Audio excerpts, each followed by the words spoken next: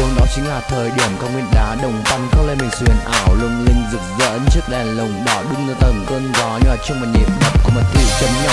Người mông, người tài, người kinh sống hòa thuận, bất luận mà là ai, dù xa hay gần chúng ta đều chào mừng đón tiếp bạn người thân. Vứt bỏ đằng sau lưng một ngày dài mệt nhọc hãy cùng đến nơi đây tham gia cùng chúng tôi. Vui chơi ca hát, kết bạn giao lưu. Chứ dừng lại ở đó, bạn còn có cơ hội tìm hiểu thêm về văn hóa con người chúng tôi. Mảnh đất cao nguyên đá như người bắc nguồn nước nam, tràn trề sức sống cho dù là mùa đông. Vẫn như đang vây gọi một du khách tham quan những cao nguyên đồng văn đang sâu vào tiềm thức của những con người được sinh ra và lớn lên trên công viên địa chất. Đêm cao nguyên đồng văn chứa đựng nhiều giá trị vẻ đẹp tiềm ẩn. Nhưng không thể bị trộn lẫn đêm cao nguyên đồng văn mà hãy chỉ đến một lần và tự cảm nhận. Để thấy được điều rằng bản sắc văn hóa con người đồng văn là một dòng chảy vô tận.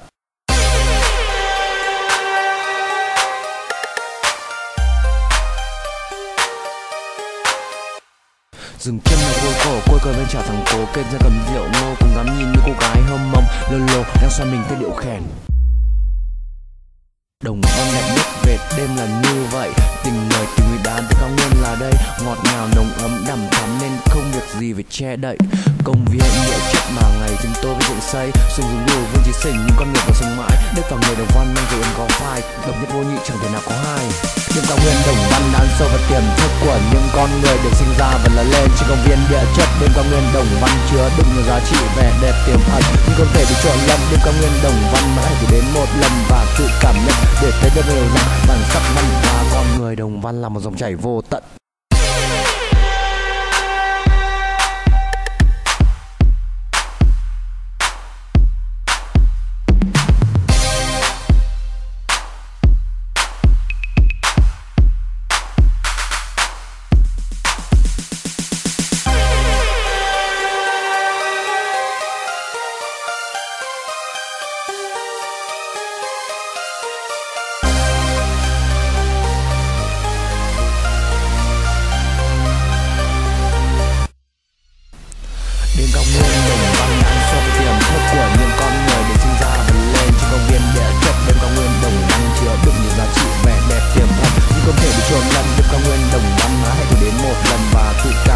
Thể để thấy được một rằng bản sắc văn hóa, con người đồng văn là một dòng chảy vô tận.